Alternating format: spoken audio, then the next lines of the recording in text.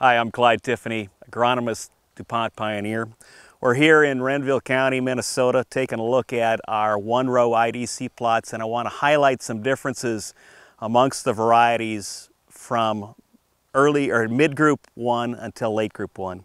I'm standing by 91Y80, which is really our standard for this area for being able to tolerate moderate to high levels of iron deficiency chlorosis. As you can see through this, this tough part of the field, even here it's, it's a little bit stunted, but it's, it's surviving. It's, it's performing okay.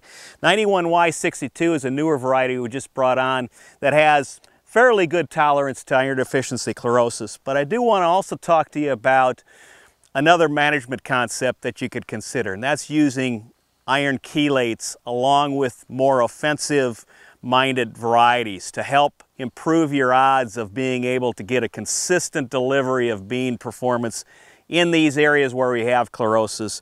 And here's an example of 91Y62 with three pounds of Soygreen. Soy green is one of many of the iron chelate products that are on the market. It's a fairly common one, but huge difference in height and coloration, capability of this row with the three pounds of Soygreen is dramatically more than uh, what you would get either with 91Y80 alone without any Soygreen or with 91Y62 alone.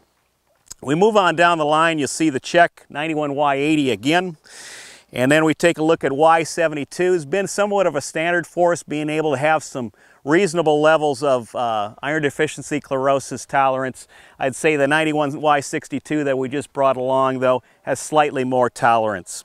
Here's a com key competitor in the area. We come up to 91Y80 as a check without and then we show you 9180 Y80 with Soygreen. So uh, even the most tolerant varieties in these types of soils will benefit from having Soygreen or some sort of iron chelate applied to them.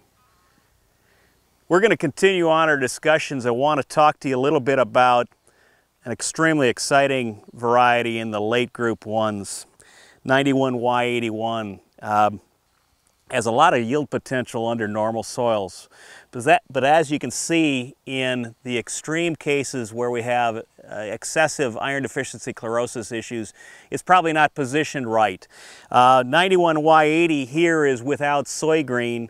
Uh, even this is having uh, difficulty down in this area. But the one thing that is really interesting is when we put on an iron chelate, in this case it was three pounds of, of Soygreen, we had performance or uh, basically the look of this 91Y81 is superior to what you'd see with 91Y80 uh, without anything on that. So my, my point being on this, we have fields that have small amounts of iron deficiency chlorosis areas and they want the rest of the field to have high performance variety.